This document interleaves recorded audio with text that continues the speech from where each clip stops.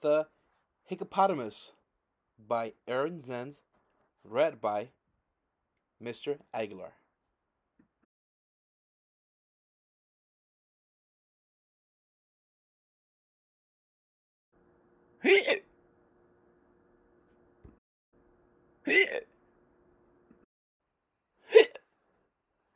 There was a hippopotamus who hiccuped quite a lactotamus, and every time he got a miss, he'll fall upon his bottomus. One day, he saw an elephant with cakes of green and yellowfant. he tried to tell her, Elephant! But it didn't go so wellifant. She chased him towards a centipede, pouring new cementipede. he hit by accidentipede and tripped the elephantipede. They ran near a rhinoceros with minty dental flosserus.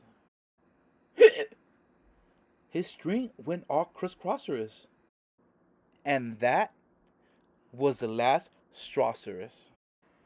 They tried to find therapy, some cure which they could sherapy.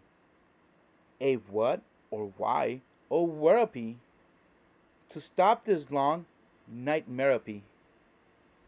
So